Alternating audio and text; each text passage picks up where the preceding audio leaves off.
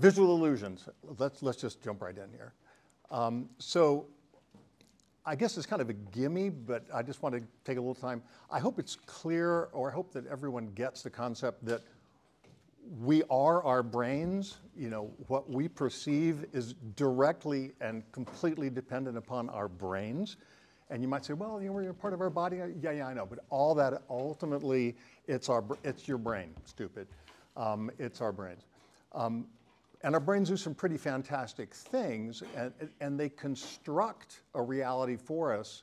Um, like, for example, we see depth Im images on flat screens. Like you saw a picture of my farm, and you could tell, oh, that's on the background, and you know that looked like a normal, you could have been looking through a window. Um, we also fill in parts of objects blocked from view. You know, if I'm standing here talking to you, you probably imagined what the rest of me looks like behind there. You know, it, it's pretty easy. And, and we also automatically categorize the things that we identify in the environment. Uh, for example, you, you, you, could see a tiger, but you could see a toy tiger, and you would immediately know the difference between them, even though they have a lot of similarity. Um, and similarly, and kind of the point of this talk is misperceiving objects, misperceiving reality is just built into us. It's just part and parcel of having a brain. Um, and I'm going to show some images and other things, and I hope it speaks for itself. Um, but why should you trust me talking about visual illusions and brains? Fine, I get my PhD, postdoctoral work, I worked in R&D, both sides. In other words, you should trust me because I'm an authority, and that's a joke. For those of you who get it, the argument from authority, thank you very much. Uh, he made me make that joke, I'm sorry. I, I, I, do. I have cufflinks at home. I should have worn them. I have, I have brains on my cufflinks, actually. Um, so visual illusions have fascinated me since I was eight years old. And it's kind of part of, I guess, why I got into neuroscience. And um, it's now time for a little demonstration. Everyone's going to participate. All right. I want you to take your fingers, okay, and I want you to put them in front of your face and look at your fingers, but look beyond them. Like look at the wall or look at the okay? And, oh, yeah. and pull your fingers apart a little, just a little bit, and you should see something that looks like this. You see a floating finger, okay? Now you're seeing it. You're seeing a little floating finger up there.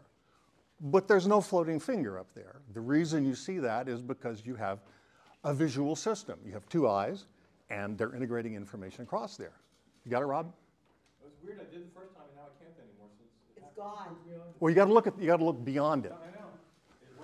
Okay, look at me, look at me, look at me, Rob, look at me, Rob. I have very bad stereoscopic vision. So well, and so that's actually one of the things I want to make is that, you know, we all different. We're all wired different, and some of us have different brains, very different brains.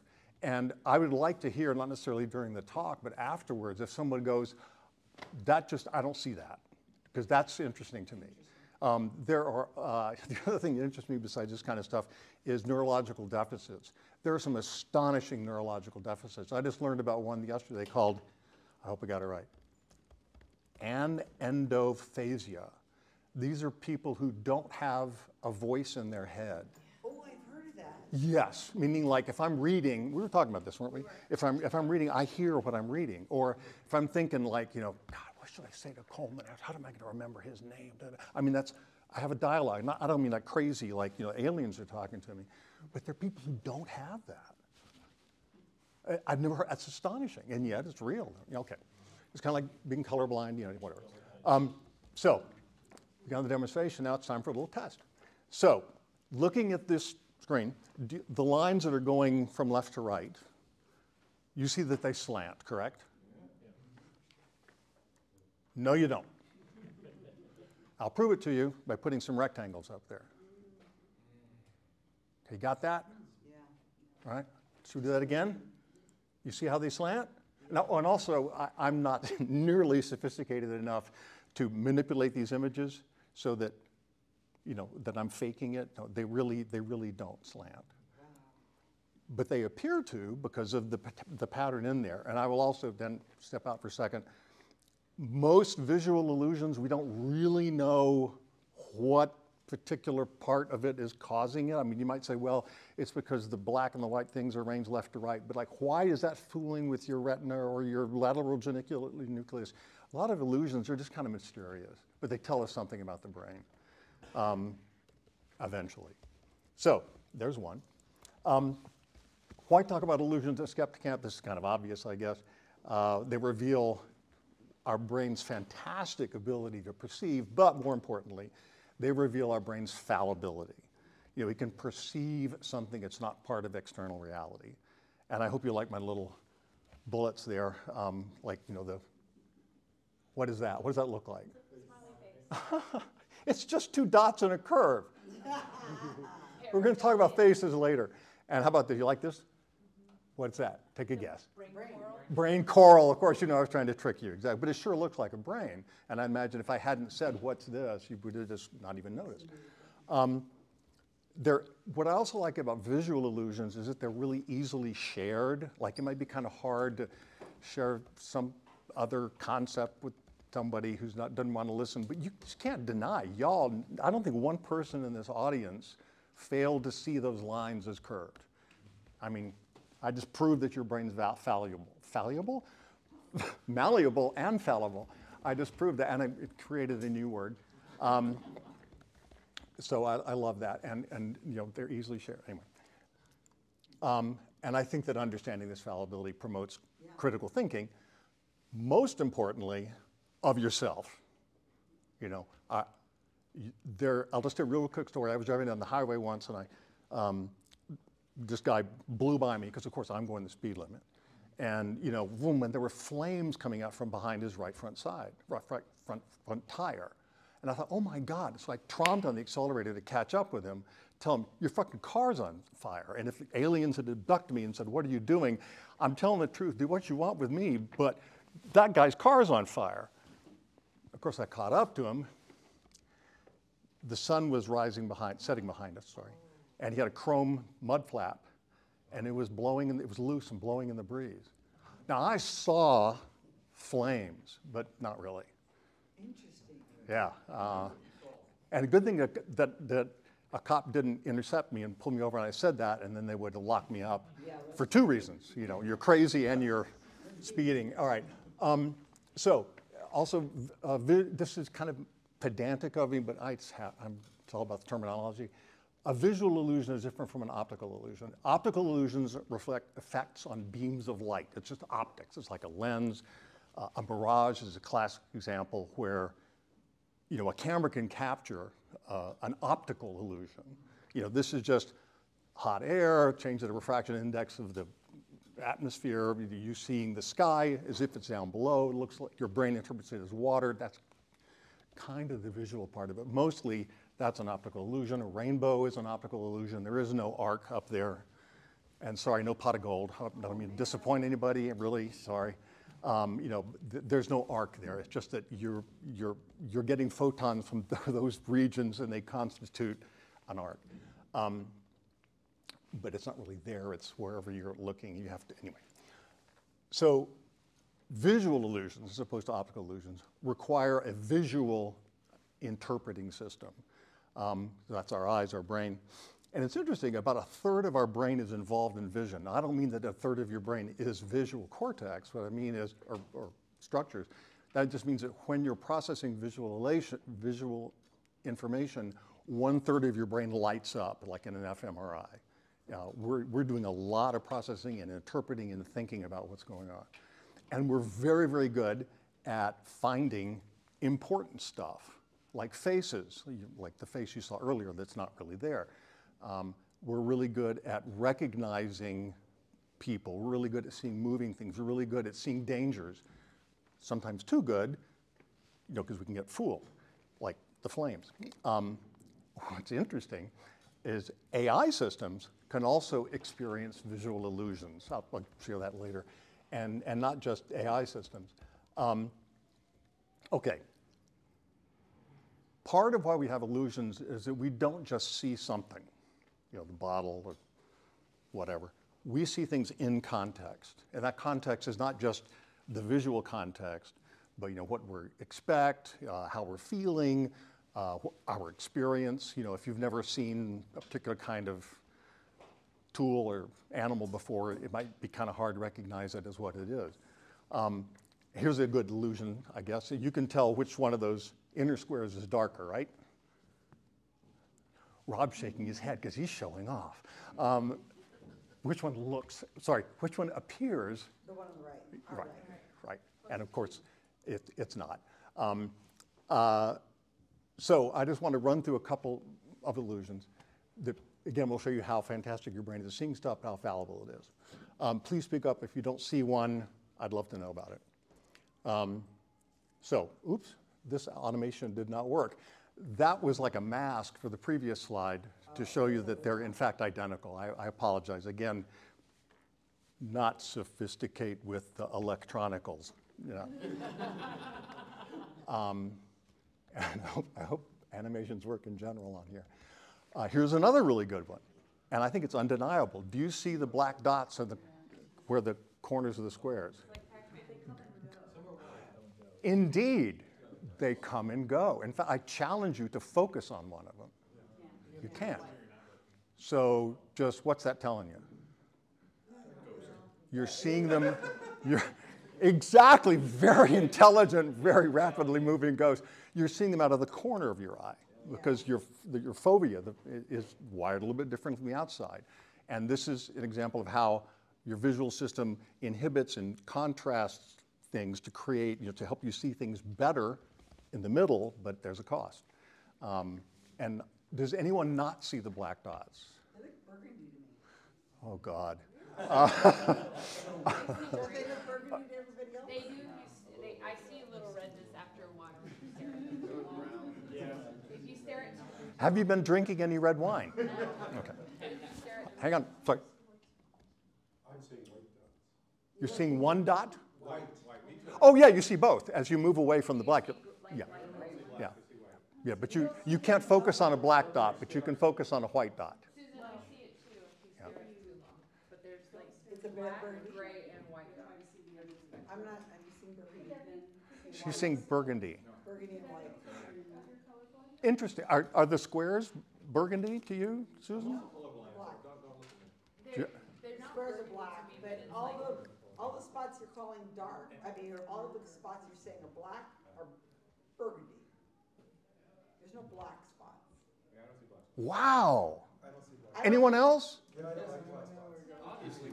So what, here, let me explain. So like, if you look here, Anthony, if you look here, out of the corner of your eye. Okay. Oh, yeah, yeah, yeah. Too far away or an angle. Maybe it's the angle. but it's also if you stare at. You guys, do you see him over there? Ah, come over to the middle. I would tilt this, but I don't want to break anything. Yeah, angle, that's a good point. I wonder if it would be different if I'd see black ones if I was. Yeah, I, it's probably from the problem of being from the side. You got to stand in, diagonally, it They're doesn't still look the same. burgundy. okay. That's interesting. Do you have, any- are you to have, known to have any other color, colorblind issues? Okay. Thought I'm a photographer. I don't know. Could it be the hat that you're wearing? I'm sorry. Anyway, so I, I apologize about those of you in the periphery, but I'd encourage you to move to the middle if you can, just, or, or come up later, we'll look at these. Um, let's see, so again, there are no black dots, notice you can't focus on them. Which square is darker, square A or B? Can you see, can you see? Which, which, which, sorry, which looks darker, A or B? I know the right answer, but I, I'm not. You know the answer, but you can't see it. Okay, yeah, all right. Well, uh, and of course, you know what's coming. I'm going to have a mask come over and show you that those are in fact the same color, and no trickery. I saw the trick you. We have a physical printout of this. Uh, I, I have physical prints of some of these things that we can look at later, and I'll do that. We'll do that one again. Okay, really really? Irritate magicians. Ready? Okay, we'll do that one again. And I swear, no trickery. A or B? They're both the same. Um, yeah, and you can't help it. If you does anybody not see those as that one is darker? It doesn't, I can see where you're seeing that. it might be, You see a gradation? Yeah, it does, but when you saw the square come over, the square is obviously the right color. Looking at that, yeah, going from Oh, it still looks like a gradation, but you can tell that, in fact, this is the same color as that, because there ain't but one square. That I don't see. I see. There's only one square. I, I know, I see darker. Right, because you're still seeing the ex- external concept, context, even though you know, oh, I think the longer you leave it there, the longer your brain adapts to seeing it badly like it did the first time. and let's look at it more later, because I only have so much time. All right, which red bar is longer? Which is red, where is red bar? Okay. Colorblind. Oh, sorry.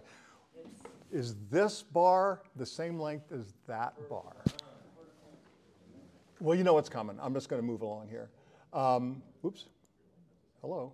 There we go. This is correct. They're, they're, of course, the same length. It's just a matter of you, you're inferring depth that is not there. And we can do that one again. Same. Just Can you see blue, Rob? Okay. Well, I, I presume, you- yeah. So, do you see the white triangle and the blue circle? Yes. No, you don't, because uh, there is no white triangle. There, there is no white triangle, Susan. There are some black shapes up there, but there's no black, yeah, and there, and, there's no blue circle. Do you see the red leaves moving? Oh, yeah, that's creepy. How do you know I didn't just put up some GIF? Would that, would that be a moving thing? I wouldn't lie to you. Thank you very much, Susan. But yeah, and this is a static picture, and you know the leaves are not moving. And, and again, I hope I hope that's visible from the side. And and this one, no, because your because your of your color thing. You, you, this works best with people with normal vision. So sorry, sorry, Rob. Um, and You. You wow, my mouse doesn't like to click. What's going on here? gotta make sure it's maybe on the page. Oh, that's a good thing. Uh, do you see these blue and these green bars? Yes. No, you don't. They're all the same color. I'm going to bring in some masks to, Oh, to prove it to you. That's amazing. Ta-da! Same color. And again, no trickery. They're the same color. We'll do that again. I think we can do it again. Just watch as the colors suddenly become the same to you. It's because we're taking out the context, taking out the context. And uh, Rob, these may not work for you. I don't know. I apologize. I apologize. Well, and of course, this is a really good example of how you might say, look, I saw this thing and Rob, I saw this thing and I, I thought it looked like Jeff, but I couldn't tell. Um, this would be a good example of how if somebody said, you know, oh, I saw the, you know, there was the green car, the blue car, you're like, no, you didn't. Well, maybe you're both right because your brain is different. Yeah. Royal blue looks Now, um, look at this little square in the middle. Just stare at that. Do not take your eyes off of it and watch as the colored blobs disappear. Look at the black X in the middle Look at the black cross. until the square becomes gray. Just stare. They go away. Even for you, Rob? Cool. Cool. So, not only do you see colors that aren't there, you don't see colors that are there. And yet, your brain is, you're presumably sober and awake. And uh, yeah. Uh, yeah, you gotta, you, you gotta have a fixedly stare at that thing. Do not, do not look away from the cross. Keep, just keep attention, yeah, it may be hard. uh, but if you, if you can stare at that and then just like in the, in the corner of your eye.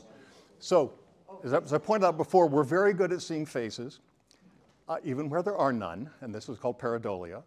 Uh, and it happens in scientific work too. I don't remember what particular image this was, but it's, a- it's a Hubble Space Telescope. And, and of course, we all see the smiling universe welcoming us with all of its life forms and intelligence. Yeah. wanted to think of our universe. Oh, look at the guys. Here's some more examples of pareidolia. Yeah. I, I love these. You can't help it. There are faces. Well, again, not people who are face blind, uh, but there are people who, but I mean, most of us see faces there. Oh, like you can't not see them. I didn't think about people that, like facial recognition blindness can't see these. Yeah, no. Uh, what's his name? Um, British uh, uh, writer. Uh, Oliver Sacks? who? Oliver Sacks would, doesn't see faces. Um, and what I, Red, red. yeah, huh? Oliver Sacks. Yeah, no wonder he can't see faces. Yeah. So there seems to be a lot of. Am, am I losing the audience here? I didn't. Don't pass those around while I'm talking. No, don't pass them around while I'm talking. Ten minutes. We're fine. We're fine. Jesus toast. Now, huh? This The famous Jesus toast. Yes, I, I would have put the Jesus toast up there, but I didn't. Um, so, but I want you, in particular, this, this, this one. Um, if you look at it, you know, in one way, a detail, you see it's a woman in front of a mirror. You know, if you kind of look at it fuzzier from the side, it, it looks really creepy. And so, what's also interesting about that image is that we get like a, a feeling, you know, like we're, in, we're, we're seeing uh, something in that face. Um, and so, in addition to seeing faces, we- audience, this is a really unruly audience. Um, Do you, do you need me, to- you want a potato? no, I don't. or a yam. Um, They're not you. We see not just faces, but we can see emotion in faces. I love this. Uh, let's see. There we go. Um, so, what, what do you see here? I see a rotated. That's an angry chair. That's right. That's, a disgusted washer playing, yeah. That's a surprised barn. And I, and I love that, I get this at home all the time. You know, he's angry, or she, surprised. yeah, and surprised, yeah. So you can do that, go home. Well, no, I don't know. I don't, I don't judge, you know. I don't judge who gets the plot, anyway. Um, so, and not only humans visit, uh, can see illusions, but here's an example of a non-human experiencing, I would say, an illusion. Looks like grass. Must be grass. They can't see color, can, Huh? can the horse see color? Well, let's put it this way. If the grass looks gray when it's on the ground, it's looking gray when it's on the truck. Oh, that makes sense. That makes sense. Thank you. Um, and uh, how we, oh, yeah. Do you see how those figures rotate? Just stare at the one. Just inter- this one doesn't work really well for me, which is great. Well, I'm really glad because this is one of Starts to wobble. yeah. This is one of the illusions that AI thinks is rotating.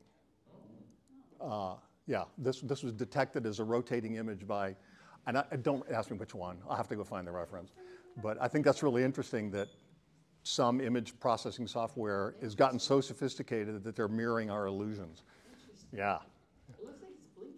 So, in summary, we see with our fallible brains, we all normally experience illusions. And there's more than just visual illusions, there's auditory illusions. By that I mean, so not echo, that would be like an acoustic thing, but an auditory illusion. And I hope we have time, I got one coming. Um, they're cognitive illusions, meaning overconfidence, company. All right. Uh, the idea is to acknowledge these in, our, in, in, in ourselves and others um, and have to have fun with it. You know, when you've been wrong about a perception, and notice it, I see birds flying all the time when I'm driving, and of course it's just a fly in the window, but over here, and for some reason I think that's a crow out of the corner of my eye because it's black and moving, because I've spent a lot of time outside and we got crows on our farm. Anyway, uh, it, it, it's, it's kind of interesting to notice how many times a day you have an illusion. Yeah, it's just, it's normal. Uh, and of course, we practice appropriate skepticism. Everyone is fallible and could be wrong, including me. Um, you know, question. You que- have Wikipedia in there. Could be I said could. Good, okay, all right. It's like it's like the calculation could. Possible life could be wrong. All right. Um, and finally, this one works really well for me. Do you, does everybody see the lines moving? And of course, I mean, I can, you know, they're not moving. They're just, it's just how we're wired. Can't help it. Uh, and finally, let's have a little bit of fun that says it all.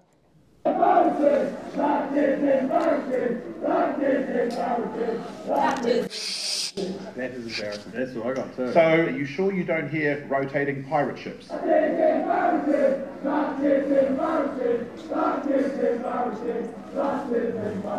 Or do you hear that isn't my receipt?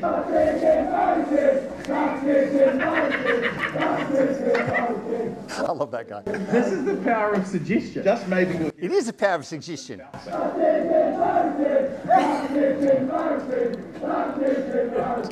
then and then the la, the the la, the, la, the lobsters in motion. Surely not. Oh my gosh. Out of there. Just out of a casual chat chant, eh? So, uh, the, the obvious question uh, a lot of people have is, what are they really saying? Yeah, what is it? And I would say, what does it matter? but let's be good skeptics and, or, yeah, investigators and figure it out. Okay, that sounded like, was that one person? It sounded like people saying, It, uh, that- was it one person? No. It was a crowd. yes. Okay. I don't know if I detected kind of an accent in there. Like what kind of accent? German? British. Okay. What would be a large British crowd chanting all together? A soccer match. Okay. What could have happened among the ones that they played there that would correspond to something that a British soccer match crowd would say? It was actually, that was embarrassing. That was embarrassing. Probably because there was an own goal. Exactly. So, but I don't know. But someone here will look it up. Kenny. Okay. Um, so, was that it? Oh, oh, we're done? No, no, no, you got time. How, do I have time? You've got four minutes. This should work. Now, I really need this crowd to pay attention and zip it, okay? And not move, and don't breathe. Just sit still. Um, I'm going to show you a test. If you know what this is, if you've seen it or heard it before, please STFU. Yeah. Did I get that right? Is that what that stands for? I'm just kidding. Um, uh, yeah, okay, because don't ruin it for anybody else. This is- th- th- You have to concentrate, it involves some counting. Okay. It involves counting in your head. Feel free to put a hand over your mouth so that your efforts or frustrations don't distract your classmates. Oh, I just classed everybody up. Um, Here we go. All right? Okay. This is a test of selective attention. Count how many times the players wearing white pass the basketball.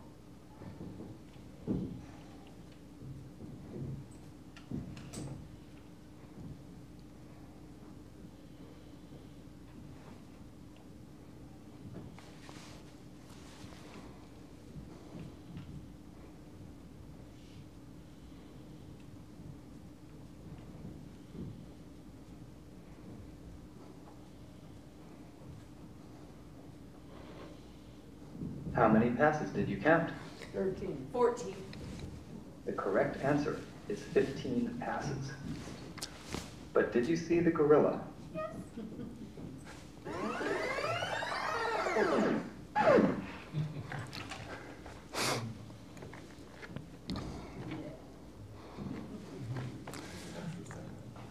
I'm going to pause it right there just because that was the point.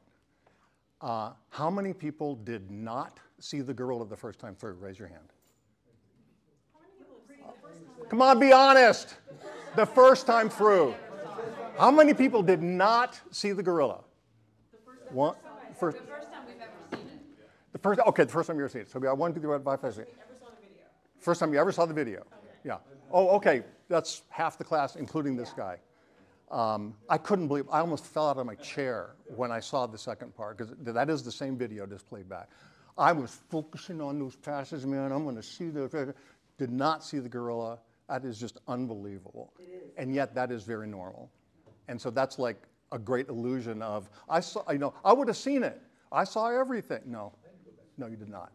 Um, so I have 30 seconds left in which to say, I think that's it, folks. Let me get out here. That, that, yeah, that was, yep, that's what it was. And uh, it illustrates total observation. I would not have missed that. There are different kinds of illusions. Be gentle with yourselves and other people and uh, spread the word to question everything, you know. All right.